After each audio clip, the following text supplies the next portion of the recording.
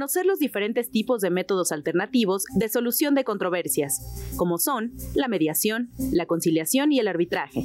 Distinguir entre cada uno de ellos, establecer las funciones que se tienen en cada una de estas figuras, los convenios de sinergia que ha celebrado el Centro de Justicia Alternativa del Distrito Federal con otras instituciones y las estadísticas que se llevan a cabo con respecto de la solución de conflictos a través de la mediación.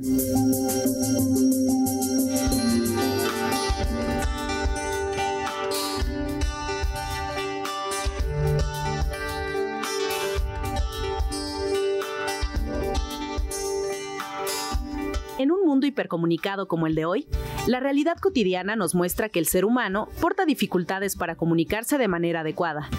Y cuando decimos esto, nos referimos a dificultades para expresar lo que se desea expresar y sentirse comprendido. Escuchar no es comprender. Y métodos como la negociación y la mediación colaboran justo con esto. El poder comprender el punto de vista del otro y sentirse comprendido. Con este primer paso dado, el camino hacia la construcción de una solución al conflicto de manera consensuada por los propios partícipes del mismo será más viable. ¿Será esto de comunicarnos un desafío a nuestra generosidad? La generosidad de entregarnos a elaborar, escuchando al otro, sin imponerme y acoplarme. La generosidad de ofrecer una modalidad de comunicación que provoque encuentros. ¿Será esto de comunicarnos un desafío a nuestra paciencia? La paciencia de la escucha atenta y activa, de lo que el otro tiene para ofrecerme. La paciencia conmigo mismo, buscando de mí qué tengo para ofrecer. ¿Será esto de comunicarnos un desafío a la flexibilidad? La flexibilidad propia de acomodarnos, sintonizar con el otro, con quien deseo concordar. ¿Será aquello de no solo es lo que digo, sino cómo lo digo? También creemos que lo único disponible que tenemos somos nosotros mismos. El otro es indisponible para mí. Entonces, ¿sobre quién puedo disponer de cómo construyo? ¿Qué construyo? ¿Qué construcción ofrezco si soy yo mismo? Doctora Daniela Patricia Almirón, mediadora argentina del Poder Judicial.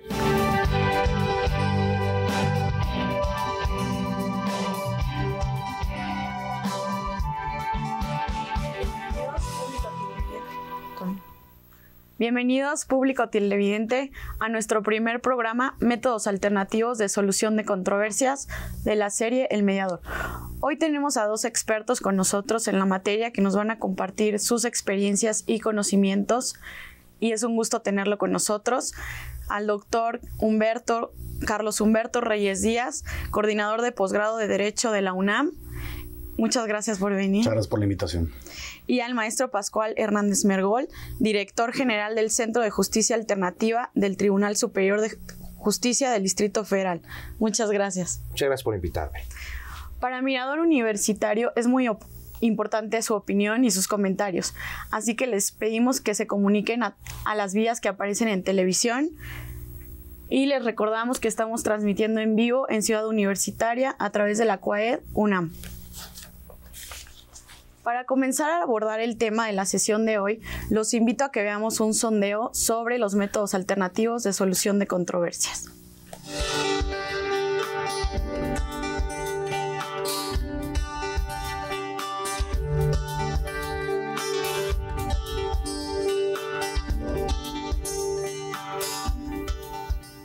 Sí, claro, es la mediación, el arbitraje y la conciliación. Pues mira, la verdad es lo que te comentaba. Generalmente nosotros como abogados siempre al presentar una demanda, pues al iniciar, en el, juzgado al iniciarla, al, digamos al, emitir el acuerdo admisorio, te da esa, esa posibilidad de que tú te vayas a esos medios alternativos. Pero finalmente en la práctica casi nunca llega a suceder eso de que nosotros como abogados hayamos, eh, tomemos esa posibilidad porque generalmente nos vamos a directamente a la controversia con la contraria. Por eso no te sabría decir cuáles son los métodos en sí. Por esa situación de que yo, en mis colegas y en la práctica realmente eh, no lo utilizamos. O sea, es una medida que, que, te, que te da el tribunal para que tú ahí soluciones la controversia con la parte demandada, pero realmente la utilización es nula, ¿no? A, a mi experiencia, a la de otros colegas, te puedo decir eso.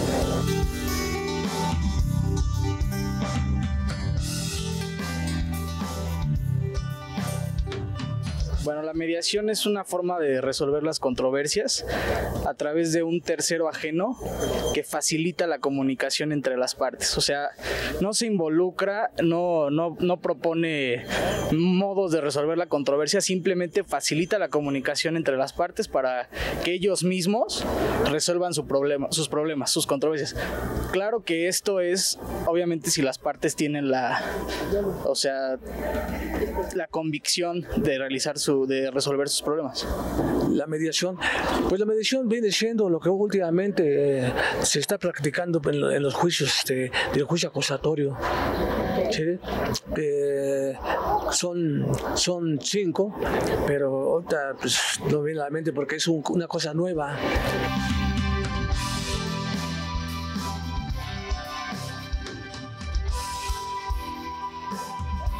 Sí, claro, bueno, es un centro de justicia alternativa que implementó el Tribunal Superior de Justicia a través de la capacitación efectivamente de mediadores para facilitar la mediación. Esto es decir, invitar a las partes para agilizar los procesos y así se genere economía procesal y no tengan que llegar a, instancias mayores, sino que lo resuelvan ellos, sobre todo en problemas familiares. Bueno, eh, como yo he sido siempre abogado penalista, sí, pero tengo entendido que es aquí, en este, en este edificio que está aquí enfrente, en la cual las mujeres, las parejas, más, las mujeres, tratan de, llegar a una mediación, a un, a un, este, un arreglo para evitar un juicio. Eso es.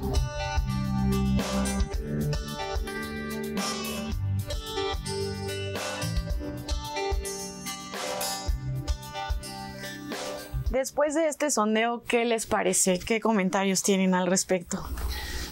Es obvio que todavía es poco conocida la mediación y los servicios que se ofrecen en el Centro de Justicia Alternativa. Eh, es importante tener en cuenta, sobre todo aquellas personas que se dedican al ejercicio profesional del derecho, tener en cuenta que la solución de conflictos no es necesariamente la única vía, la jurisdiccional. Hoy, conforme a la legislación, la, la ley orgánica del Tribunal Superior de Justicia del Distrito Federal y otras 25 en el país, la Ley de Justicia Alternativa del Distrito Federal y el Código de Procedimientos Civiles, el Código Civil, prevén opciones como es la mediación para que las partes, sobre todo está pensando este tema en las partes en las que tienen el conflicto. El litigante pues es un coadyuvante para que quienes tienen conflictos con el litigio los resuelvan, pero no es la única opción. Invitamos a todos los abogados, a todos los profesionales del derecho a que se den una vuelta al centro, a la página del tribunal para que conozcan qué es la mediación y con gusto vamos a atenderlos. Muchas gracias. Bueno, eh, coincido totalmente con, Pascual. Eh, hay una cantidad de opiniones que se dan sobre estos temas. Parece que no hay una opinión generalizada respecto de cuáles son los métodos alternativos de solución de controversias, que en realidad es justamente eh, eso que comentaba Pascual, es buscar una alternativa para la solución de conflictos extrajudicial. Y dentro de los mecanismos extrajudiciales, pues hay varios, eh, como la mediación, la conciliación y el arbitraje. Y justamente, eh, incluso hace, hace poco leía a un doctrinario que, que decía que estos métodos alternativos han, han, tenido tanto éxito o van teniendo cada vez más éxito que parece que ya el, ámbito jurisdiccional se está convirtiendo en el alternativo de, los métodos alternativos. Pero bueno, es justamente eso, buscar una, vía distinta a la jurisdiccional para, conseguir la solución de una controversia. ¿Cuáles son los métodos alternativos de solución de controversias?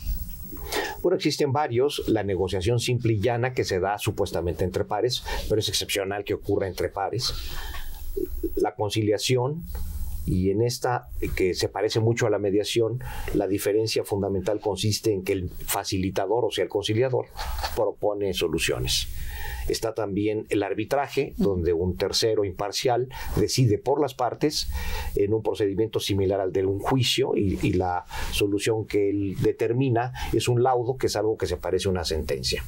Tanto en el juicio como en el arbitraje, el problema es que uno gana y el otro pierde y se da entonces el síndrome que describe muy bien el doctor, el magistrado de Galilea Azar, presidente del tribunal, del ganador-perdedor. En la mediación ocurre algo distinto porque son las partes directamente involucradas las que construyen la solución al problema que les aqueja. Y esto es posible porque el facilitador, que es un mediador, que es un profesional del derecho altamente calificado, propicia la comunicación eficaz con un sistema que se llama la escucha activa, pone eh, al servicio de las partes todas las herramientas con las que él ha sido formado y preparado para que se encuentren la solución. Carlos, tú que tienes experiencia en arbitraje, platícanos un poco de, de los casos que se han llevado a través del arbitraje. Bueno, mira, el arbitraje efectivamente tiene un componente eh, material altamente jurisdiccional, es decir, se, se, llevan a cabo las etapas del proceso muy similares a, las de un juicio y el árbitro es el que da la solución al conflicto. Eh, lo cierto es que el arbitraje tiene cada vez, como lo decía hace rato, más adeptos hay cada vez más controversias que se resuelven por esta vía y aquí quizá mi, deformación internacional me, lleva más al, conocimiento de casos eh, internacionales.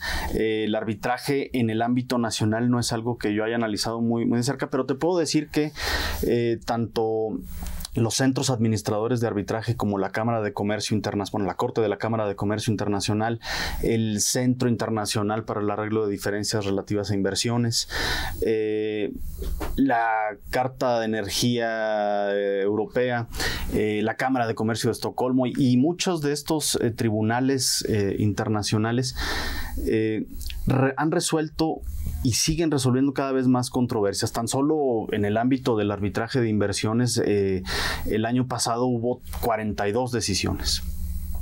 Entonces, hay cada vez más eh, conflictos que se resuelven por esta vía, porque en el ámbito internacional es mucho más común que se desconfíe de las jurisdicciones nacionales. Entonces, para que los eh, dos litigantes, para que los dos contendientes puedan tener un procedimiento mucho más objetivo, eh, imparcial, eh, menos viciado, tratan de alejarse de las jurisdicciones de sus contrapartes para poder tener un foro donde pueda ser mucho más fácil resolver las controversias. Ahí es donde quizá se propicia más encontrar métodos como, como, los que comentaba Pascual, como la mediación, la conciliación, la negociación. Eh, en algunos casos se, toman otras denominaciones como las consultas en el ámbito del comercio internacional, pero bueno, la denominación eh, difiere, pero los procedimientos son relativamente similares. Entonces, sí hay un componente muy interesante, por lo menos en el ámbito del comercio internacional, que se ha buscado cada vez más los foros internacionales en donde se propician estos métodos alternativos. ¿Cómo, cómo nombran a los árbitros? ¿Cómo es el proceso del arbitraje en estos casos? Difiere. Eh, Mira, generalmente eh, en el ámbito del comercio internacional, como las controversias eh, son de mucha, de montos muy grandes, eh, se busca generalmente, por lo menos los reglamentos de arbitraje establecen que se debe privilegiar al árbitro único.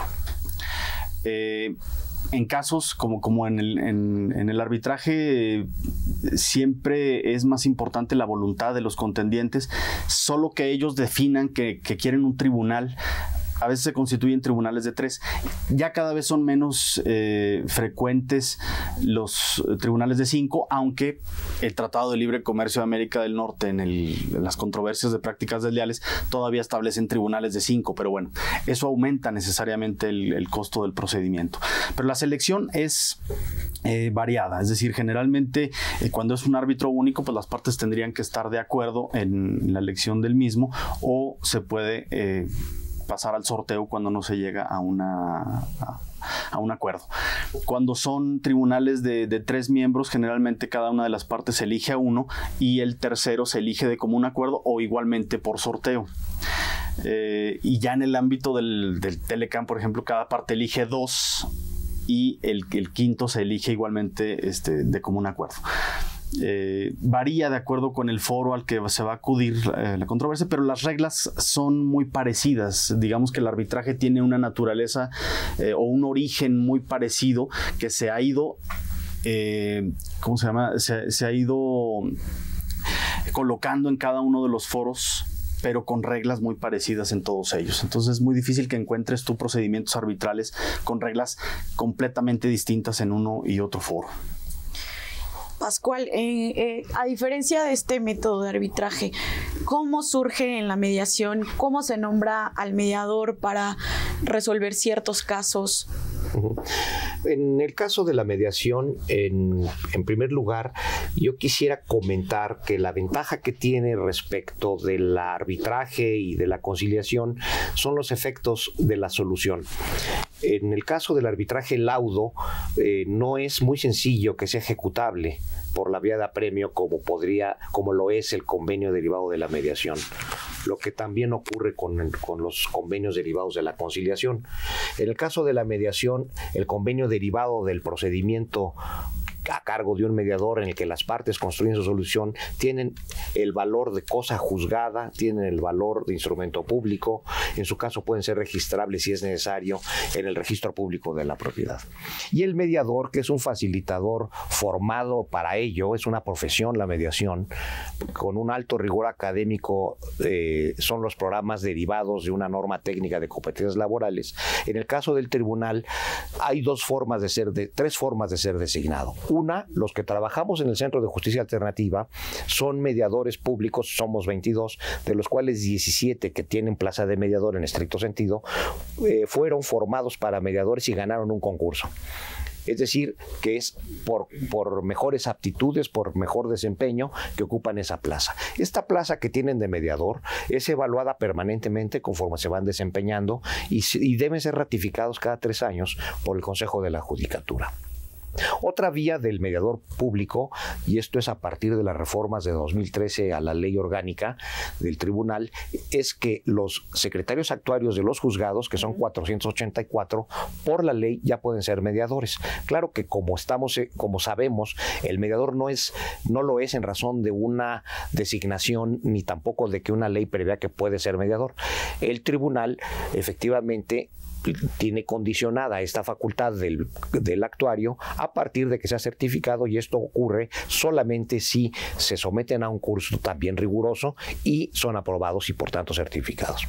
El mediador privado, que es una figura que se le ha dado mucho impulso a partir del 2009 y sobre todo a partir del 2010 y hoy existen en la Ciudad de México 105 mediadores privados certificados dotados de fe pública, lo son en la medida en que egresaron de manera satisfactoria de un diplomado que dura aproximadamente 200 horas y que incluye al menos 40 horas de práctica en casos reales. Estos mediadores privados, si son aprobados, eh, pueden obtener su certificado, su registro y deben de realizar determinados trámites para completar eh, la dotación de la fe pública a la que tienen derecho.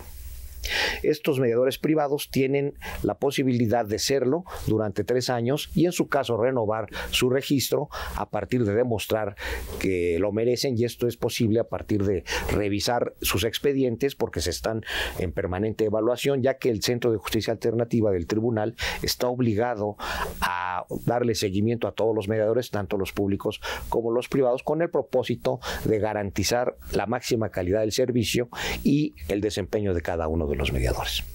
Y en cuanto a las materias, por ejemplo, que se regulan en el arbitraje y en la mediación, ¿en qué están enfocadas? Bueno, eh, hay materias, eh, varían por supuesto. Yo aquí me, quedé con, esta idea que comentaba Pascual, en donde parece que, en este ámbito de la mediación hay, hay mucho más, eh, y, lo celebro que haya mucho más profesionalización de, la formación de los mediadores, porque yo lo que me quedo, y nada más para concluir rápido esta, esta parte que me quedé inconclusa, eh, creo yo que en el ámbito del arbitraje no hay esa profesionalización. A veces se busca el experto en una materia sustantiva. Si se va a resolver una controversia en materia marítima, se busca alguien que conozca derecho marítimo, alguien, eh, pero no, no se busca mucho a expertos en procedimiento, lo cual desde luego me parece que falta, falta un poco esa profesionalización. Sin embargo, y, ya respecto de la pregunta que tú hacías, eh, hay materias que involucran el orden público y que no pueden estar sujetas al, arbitraje. Eh, al menos en, el ámbito del arbitraje, quizá en la, mediación entra otro, otro juego distinto, pero tú no puedes llevar a, controversias en arbitraje cuestiones que tienen que ver con el derecho penal, digamos directamente. Eh, si yo cometo un delito, yo no puedo hacer que, en lugar de que someterme a la, la justicia penal eh, del Estado, me vaya yo a un tribunal arbitral extranjero, por ejemplo. Eso sería eh, incongruente porque va directamente relacionado con temas del orden público.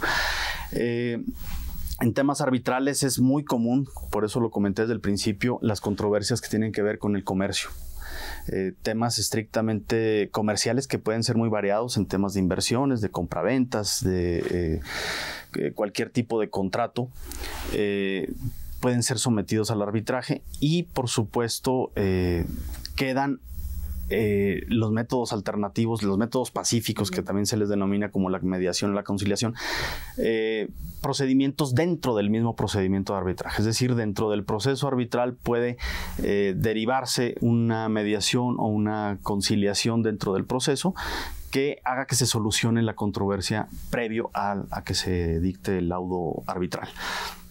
Eh, hay un componente importante y al menos en el ámbito del comercio internacional, sí hay aproximadamente, eh, dependiendo del foro, pero hay aproximadamente un 30% de controversias que se resuelven por eh, mediación o por conciliación dentro ya del procedimiento arbitral. Entonces, sí es un porcentaje muy alto, al menos en el, en el comercio internacional. ya en el ámbito nacional, tengo entendido, eh, eh, Pascual lo, debe tener mucho más claro, la, mediación eh, pues sí tiene un componente distinto del arbitraje ya en sí, que como decíamos ya es un procedimiento mucho más similar al, jurisdiccional. ¿no? Y Pascual, en cuanto a las materias que versa la mediación, ¿cuáles serían? Bueno, tenemos dos grandes vertientes o dos grandes paquetes. Uno es la mediación para la solución de conflictos de carácter legal en ese ámbito, y por eso el, Centro de Justicia Alternativa está en sede judicial, es, es, se puede utilizar la mediación en materia familiar, que es con lo que abrió el Centro de Justicia Alternativa en el año 2003 sus servicios.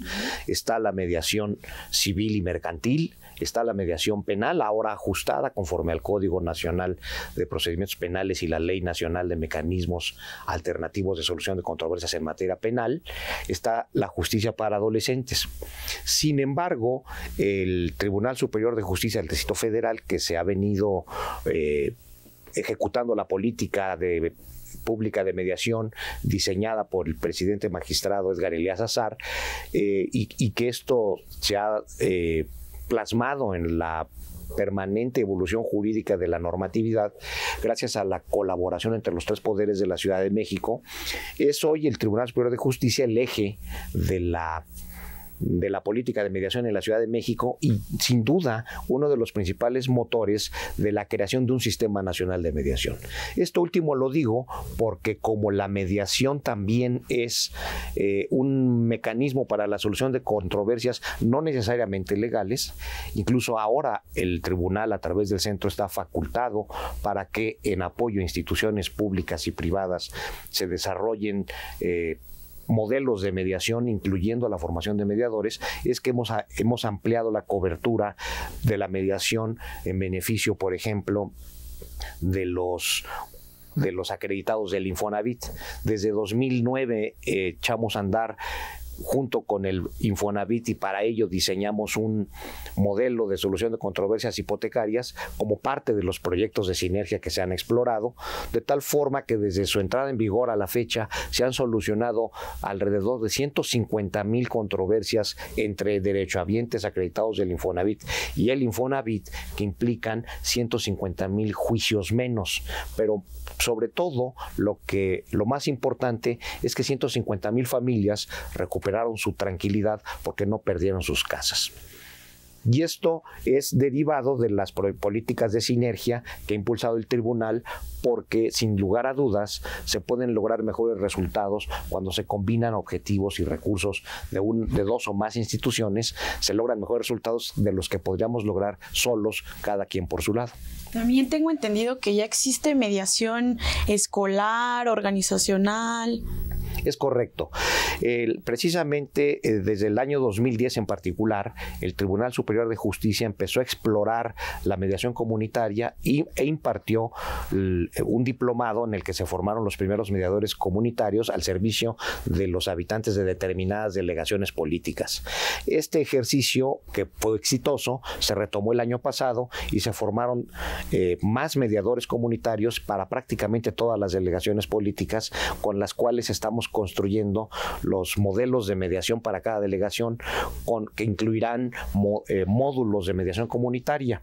En el caso de la mediación escolar también fue desde el 2010 que se inició un programa piloto con la Secretaría de Educación Pública para eh, empezar a diseñar modelos de mediación escolar. El programa piloto fue con la secundaria número uno y el año pasado, a partir de, de que estuvimos en condiciones de que nuestros 23 egresados del primer diplomado de mediación escolar que se impartió en el 2013 capacitaron a 120 maestros de igual número de secundarias técnicas de la Ciudad de México, donde ya la mediación escolar es una realidad. ¿Y en un futuro crees que estas materias se lleguen a regular dentro del centro de justicia? Ya están reguladas porque en el 2013 se reformó la ley para autorizar al tribunal eh, la posibilidad de en apoyo a instituciones públicas y privadas la posibilidad de diseñar programas de mediación específicos que incluyen la formación de mediadores. Por ejemplo, actualmente estamos construyendo con la Procuraduría Agraria el modelo de mediación agraria y, con ese modelo, eh, el Tribunal Superior de Justicia participa en el diseño de, un, de una especialización en mediación agraria que se impartirá a partir de la próxima semana a distancia en beneficio de 600 funcionarios de la Procuraduría Agraria que podrán ser mediadores agrarios y esto desde luego en beneficio de los sujetos agrarios, sobre todo campesinos propietarios de, del, suelo, del suelo rural. No perdamos de vista que el, que el campo mexicano, más de la mitad es propiedad social que tienen conflictos como en todos los ámbitos de interacción social. Entonces ya vimos materia escolar, organizacional, agraria, con el Infonavit, qué interesante, qué bueno que vamos avanzando en esos, en esos temas. Eh, antes de continuar, me gustaría presentar el libro que se va a regalar es este, 11 años de mediación en el Tribunal Superior de Justicia del Distrito Federal para las primeras tres personas que nos contesten cuáles son los métodos alternativos de solución de controversias. Me gustaría que el maestro Pascual nos platicara un poquito de este libro antes de ir a pausa. Cómo no, con mucho gusto. Es un libro que contiene artículos escritos por diversos expertos en materia de mediación a nivel nacional e internacional. Está, por ejemplo, el magistrado Pascual Ortuño, que es uno de los principales promotores de la mediación en Europa. Están también el, mediador privado número uno del Distrito Federal, que es el doctor Otón Pérez Fernández del Castillo, que es catedrático de la Facultad de Derecho. Eh, están algunos mediadores del Centro de Justicia Alternativa, profesores, y se trata con este libro de que quien está interesado en el estudio de la mediación tenga en un solo volumen diversas formas de ver la mediación y también quienes estén interesados en impulsarla para crear centros de mediación pública o privado. Es un, es un manual para, para ser mediador o para organizar centros de mediación.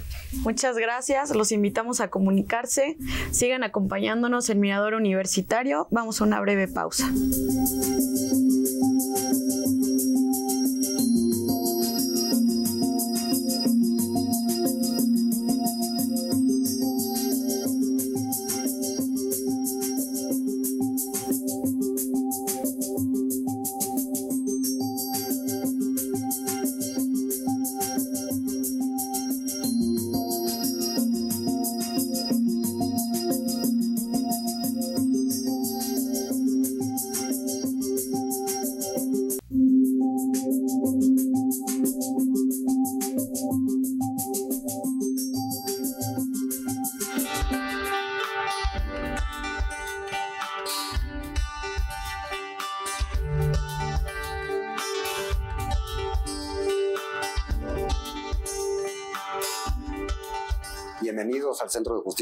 Eh, esta es una institución que se creó eh, por parte del Consejo de la Judicatura en el año 2003.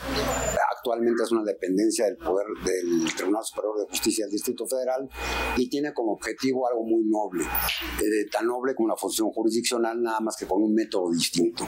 En el centro tratamos de que las personas arreglen sus conflictos colaborando, en lugar de enfrentándose como sucede en un litigio. Aquí hay una gran ventaja con la mediación. La mediación la podemos definir como una negociación asistida por un tercero neutral, imparcial, que lo que busca es que las personas encuentren por sí mismas sus intereses para poder resolver sus conflictos.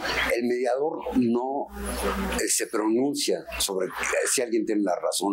Partimos de la idea que las partes que vienen tienen buenas razones igualmente válidas. Eh, la idea es colaborar y ver los problemas desde otra óptica.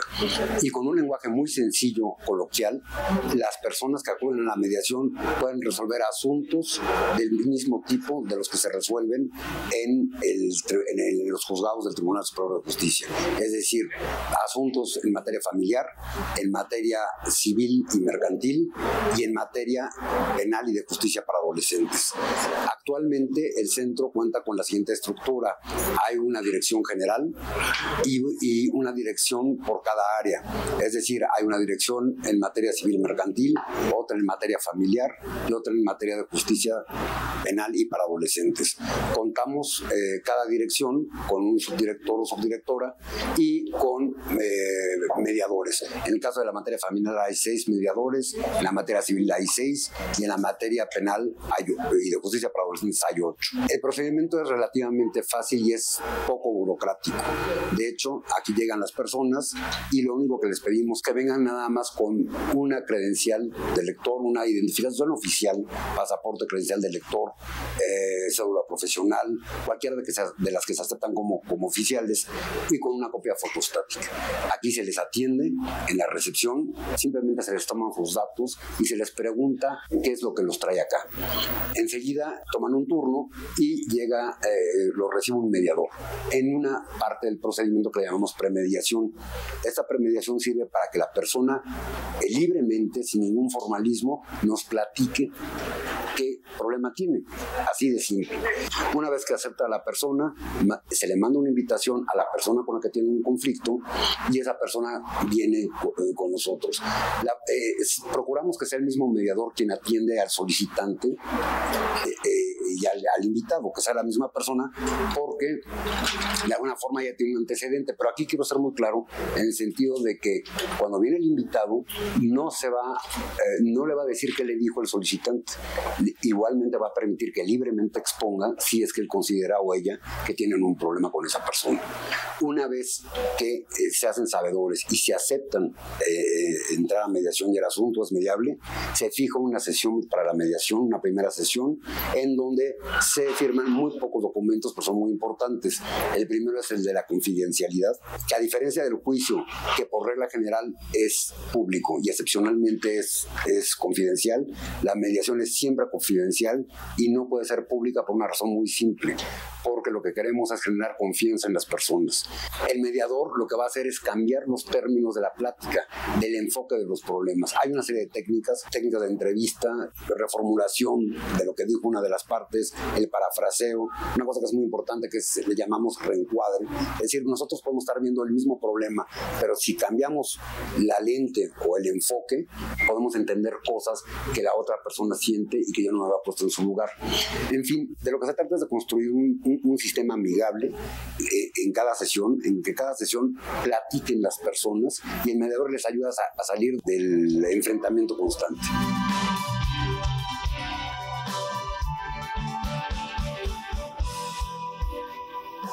Hay una cosa muy interesante en las, en las salas de mediación.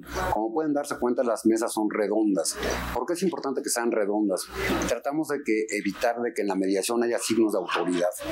Eh, todos recordamos a, Rey Arturo y los caballeros de la mesa redonda. Esa es la idea. No hay autoridades. El mediador no es una autoridad. La autoridad son las partes que tienen el problema. Ellas, ellas se van a dar la solución una invitación a todos los, los, habitantes de la Ciudad de México a que vengan a este Centro de Justicia Alternativa.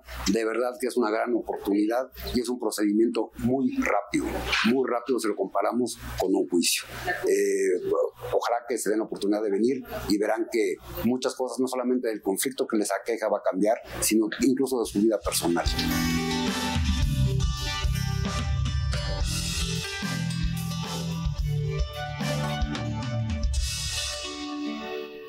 Agradecemos que continúen con nosotros y les recordamos que pueden compartirnos a través de las vías que aparecen en pantalla sus comentarios, sus dudas que podrán responder nuestros expertos aquí invitados y les recuerdo también que estamos regalando el libro de expertos mediadores, tanto nacionales como extranjeros, a las tres primeras personas que respondan cuáles son los métodos alternativos de solución de controversias. Maestro Pascual, acabamos de ver un video que nos explica las funciones que tiene el Centro de Justicia Alternativa, su estructura, las áreas, que hay direcciones, subdirecciones en materia familiar, penal, civil mercantil. Vimos tanto la estructura de, áreas como la estructura de instalaciones de las mesas redondas. Este, también vimos el procedimiento que se lleva a cabo durante, cuando las personas quieren acudir a mediación. ¿Nos podría explicar por qué se crea un centro de justicia alternativa? Claro que sí, hay una corriente mundial para retomar la mediación. Los mecanismos alternativos de solución de controversias no son una novedad, tampoco lo son en México. En la Constitución de 1824 ya se hablaba de la conciliación y a lo largo de las constituciones de México lo encontramos, sobre todo en la de 1917, la conciliación y el arbitraje los hace suyo la Constitución, aunque los vincula directamente con el tema del trabajo y en el año del 2008 se reforma nuevamente la Constitución para que se prevea que todas las leyes contengan disposiciones para que los conflictos se puedan solucionar con mecanismos alternativos de solución de controversias. Esto fue en 2008. Sin embargo, las entidades federativas, el Distrito Federal entre ellas, se adelantaron a esta propuesta de tal forma que desde el 2003 en el Distrito Federal existe un centro de justicia alternativa que ofrece los servicios de mediación. Pero ¿qué antecedentes podemos mencionar. En, en, en 1899, sus primeros ocho artículos de la Convención de la Haya se refieren a la mediación para la reconciliación entre países. Otro antecedente ya en el siglo XX es en 1947 cuando se crea en los Estados Unidos de América la Comisión Nacional de Mediación, pero esta relacionada solamente con temas laborales. Y algo que me llamó a mí mucho la atención cuando me enteré de ello fue que la Constitución china de 1978 en su artículo 100 11 crea los comités vecinales de mediación. En este caso, distinta a la mediación para la gestión y resolución de conflictos judiciales y familiares. Es decir, la mediación es un movimiento por la paz porque la cultura de la paz pues es una cultura en la que los conflictos pues deben ser solucionados y las personas más enteradas y más interesadas en superar los conflictos son quienes lo padecen. Carlos, ¿crees que estos métodos alternativos ayuden a disminuir los juicios que hay en el Distrito Federal? Es que yo creo que justamente eh, los métodos alternativos eh, están creados con ese propósito. Eh, en el ámbito de los abogados siempre decimos que siempre vale más un mal arreglo que un buen pleito, pero, pero lo cierto es que los arreglos a los que se pueden llegar los, los partes en conflicto no necesariamente son malos. Por el contrario, con esta profesionalización de la que ya habla Pascual, hay mucho más posibilidades de que ese arreglo pueda tener buen fin y que sea un buen arreglo para, ambos.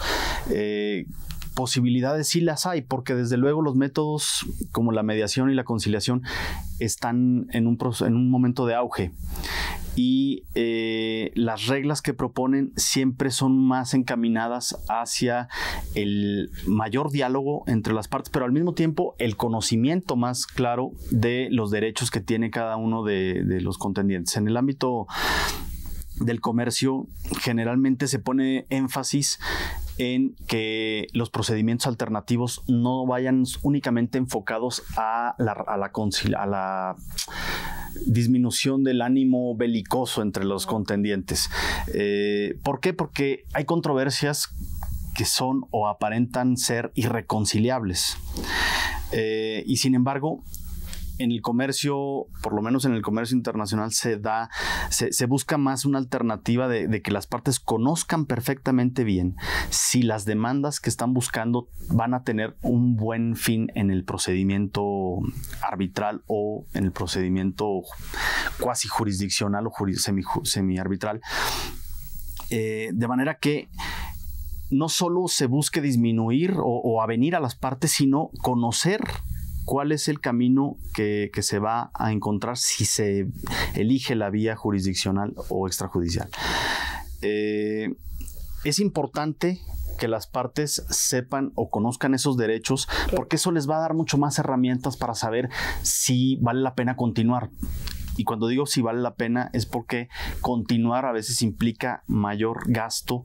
Eh, al menos en el ámbito de la, de la conciliación y en el arbitraje, pues siempre se tiene que eh, realizar pagos a, eh, asesores jurídicos, expertos, peritos, etcétera que le va a representar a, las, a los litigantes, perdón, a los contendientes mucho más gasto y además no solo gasto económico, sino eh, un gasto en tiempo, en recursos, en eh, vamos, un desgaste, incluso puede llegar hasta ser un desgaste emocional, eh, transitar por todo un proceso jurisdiccional. Entonces yo creo que sí, y en la medida en que el Estado apuesta a la creación de centros como, como el que coordina ahora Pascual, se le está dando mucho más vamos, se está apostando más a, una solución profesional, pero pacífica de una controversia. Entonces yo creo que sí tiene mucha, mucho éxito. Pues. Eh, es parte del papel que como abogados debemos de tener, ¿no? El aconsejar a la persona que está en conflicto, que acude con nosotros, a no irnos directamente al juicio, ¿no? Sino a hacerles ver que existen otros métodos como la mediación, como la conciliación, como el arbitraje, para que no se acudan a juicios largos, sino que resuelvan su problema y el verdadero problema, ¿no? Que traen adentro muchas veces las personas. No, no resolver, no que el tercero, el juez, resuelva y de la solución y el conflicto emocional que traen las partes se quede ahí. Pero además es, muy importante lo que, lo que comentas porque eh, cuando se llega a estos procedimientos como la mediación en el centro, eh, por supuesto no me quiero meter en el ámbito de tu competencia, pero lo, he visto, no es que sea un tercero ajeno e indolente a la controversia, es decir, es una persona que eh, se involucra en el procedimiento, se involucra en la controversia, y trata justamente de lograr un acuerdo entre los contendientes y no precisamente nada más hacer que sea una etapa que se pueda simplemente brincar para pasar al, momento jurisdiccional. Entonces, sí, ahí es importante que, la profesionalización va encaminada a que eh, ese tercero realmente contribuya a una solución pacífica de las partes. Eh, al respecto, quisiera, si me permites, Paula, eh, Paula comentar que el mediador es formado en varios aspectos muy importantes porque precisamente si la mediación es una expresión de la cultura de la paz, quien la promueve como mediador está formado como como bueno, no es un psicoterapeuta, pero tiene nociones muy claras de la, de la psicoterapia, de la neurolingüística, de diversas técnicas de negociación. Y efectivamente no es solamente un mecánico frío que se dedica a, a, una, a entablar una comunicación eficaz, no, sí se involucra, pero es imparcial o mejor dicho es omniparcial, es decir, está con todos, está en favor de las partes que están en el, en el conflicto, incluso con el problema, es omniparcial, no es, sí se involucra, pero se involucra para propiciar que construyan ellos una solución. Se trata pues de un profesional que, que va a lograr que la construcción de la solución la realicen entre las partes y por eso los índices de solicitud de ejecución de convenios a través de juzgados que, como ya lo comentamos, tienen el carácter de cosa juzgada, es menor. Es, el índice es del orden del 2%. Y este 2%, pues es, eso significa que prácticamente todos, o sea, el 98% se cumplen. ¿Por qué se cumplen? Porque la mediación está bien hecha, porque la construcción de la solución la dieron entre las, partes. Claro.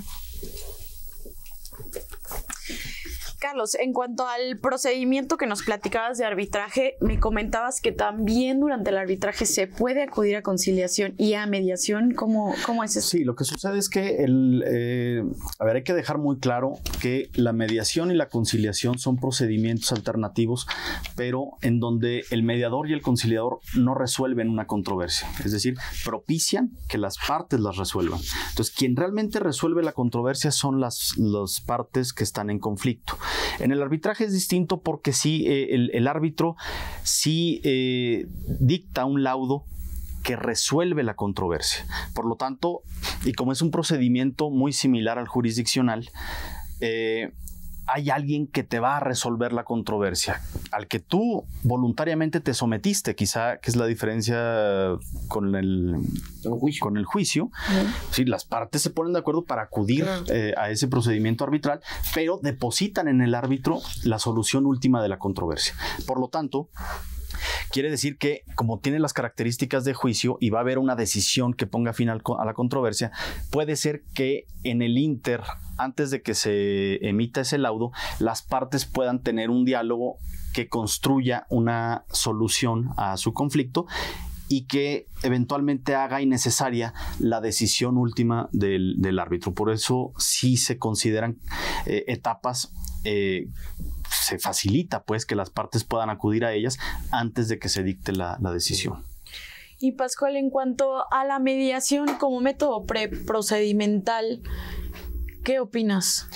Estoy de acuerdo con ello porque en realidad si se hiciera una auditoría a todos los juzgados del mundo, se encontraría que muchos de los asuntos que se están ventilando ante los tribunales y que abultan enormemente la carga de trabajo de los juzgadores pudieron haber sido solucionados directamente por las partes en otros países, en muchos de los estados de la Unión Americana, en Argentina, en Inglaterra, es obligatorio antes de tener acceso a los servicios jurisdiccionales haber intentado la mediación o algún otro mecanismo de solución alterna. ¿No, se rompería con este principio de voluntariedad si se obligara a las partes a acudir a la mediación como requisito preprocedimental? No necesariamente. Por ejemplo, si un juez tuviera la facultad en México de remitir a, los servicios de mediación a las partes, eh, no, significa que estén obligados a encontrar una solución con la mediación, porque la mediación efectivamente es voluntaria. Pero si ya lo intentaron, tienen todo el derecho de, que su conflicto que les aqueja pues sea eh, resuelto por un juez. Aquí las ventajas que tiene la mediación sobre el arbitraje y la conciliación y la negociación es el cumplimiento del convenio porque, por ejemplo, en una negociación entre, entre dos personas, que es excepcional que sean pares, eh, a la hora de eh, cumplir el convenio derivado de una negociación, la parte a la que se le exige, que usualmente es la parte débil de la negociación, dice, lo que pasa es que lo, lo acepté, pero no puedo, no, no son las condiciones en las que yo estaría dispuesto a llegar a una solución.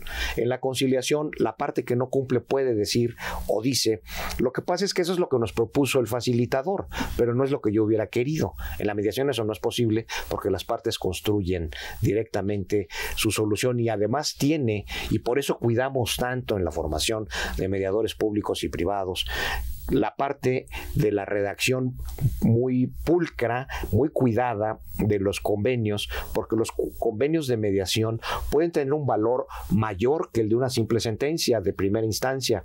¿Por qué? Porque una sentencia es recurrible, recurrible en segunda instancia, con incidentes en el amparo, y el, y el, y el convenio, el convenio derivado de la mediación no no se debe ejecutar y punto. Incluso existe en la ley la previsión de que un juez que se niegue a, ejecutar un convenio para su cumplimiento derivado de la mediación incurre en, responsabilidad administrativa.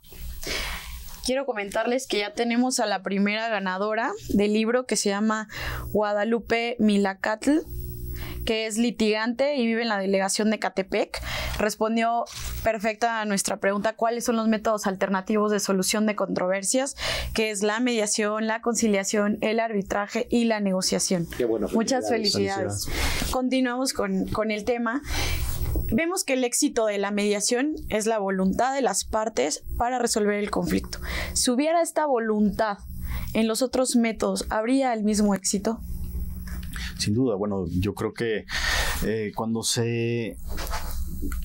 Cuando, cuando existe la voluntad, que es en todos estos métodos alternativos de solución de controversias, hay, hay voluntad para acceder a ellos como hay voluntad para resolver la controversia. En el juicio eh, nacional, cuando ti te, te tienes una demanda por evasión de impuestos, pues el hecho de que tú tengas voluntad de solucionarlo no es suficiente porque mientras no cumplas con tus obligaciones fiscales, pues no, no se va a resolver la controversia. Pero cuando una controversia llega a la mediación, es porque tú voluntariamente accediste a ella. Si tú vas a la conciliación igual y si tú accedes al arbitraje en la misma circunstancia. Entonces, sí, por supuesto que, que la voluntad de las partes es fundamental, no solo para solucionar la controversia, sino para todas las cuestiones que tienen que ver con el proceso.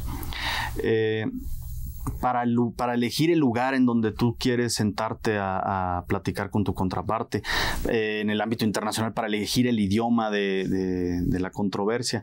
Eh, todas las etapas procesales son fundamentales y, e interviene en ellas la voluntad de las partes. Las, para la solución es fundamental que exista, que exista esta voluntad entre ellas.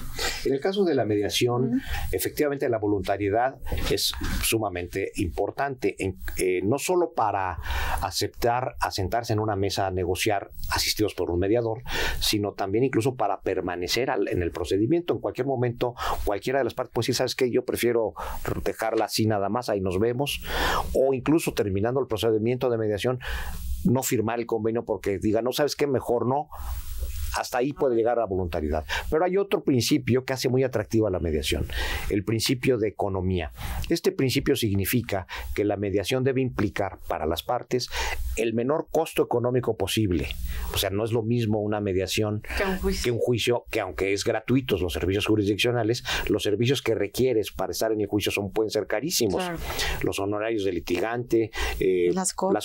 certificadas, muchas cosas, pero hay otro hay otro factor que casi nadie considera como un principio de ahorro que es el tiempo. El tiempo de la mediación pueden ser dos horas, pueden ser 15 días, pueden ser tres semanas. Por ejemplo, en el ejemplo que les puse exitoso del proyecto de sinergia con Infonavit, los conflictos se solucionan en un máximo de 15 días en promedio. Un juicio pues se lleva seis meses o más y además solamente es la primera instancia. Entonces el principio de economía significa ahorro de dinero, ahorro de tiempo, pero también de un menor desgaste de, de- de las personas, desgaste personal, porque no es lo mismo solucionar un conflicto familiar en dos semanas que en un juicio larguísimo, por ejemplo, la construcción de un convenio derivado del divorcio. Claro. Estamos a punto de terminar el programa, así que me gustaría que ustedes hicieran unos breves comentarios respecto al beneficio que existe de acudir a los métodos alternativos de solución de controversias para animar al público. Bueno, y si me permites, Pascual, eh, yo diría que la gente tiene que conocer más el procedimiento para solucionar una controversia. Eh, cuando nosotros tenemos un conflicto y tenemos el riesgo de ir a los tribunales a solucionar la controversia, generalmente depositamos esa confianza en el abogado que nos va a llevar a- al juicio y esperando que el abogado sea lo suficientemente capaz y hábil para llevar nuestra demanda o defender nuestros derechos de manera precisa. Pero lo cierto es que en los métodos alternativos de solución de controversias es importante que tú eres el, eh, estás directamente involucrado. Si no conoces el procedimiento, es difícil que te que, decidas acudir eh, por voluntad propia al, al propio mecanismo. Por eso es fundamental que se conozca el procedimiento y la mejor forma que yo creo que, que existe al día de hoy para conocer los, los procedimientos alternativos de solución de controversias es eh, conociendo el centro de mediación que coordina aquí Pascual. Exacto. Muchas gracias, Carlos, por el comentario. Pues agradecemos mucho al, al doctor Carlos y al maestro Pascual su presencia y al público televidente. Lo invitamos a que nos acompañen al siguiente programa, que es la mediación como método alternativo de solución de controversias. Muchas gracias. Gracias. Gracias.